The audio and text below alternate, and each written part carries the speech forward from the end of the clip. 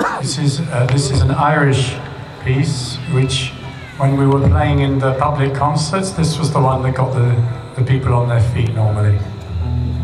But only the only the girls, only the ladies started dancing. The boys are too shy.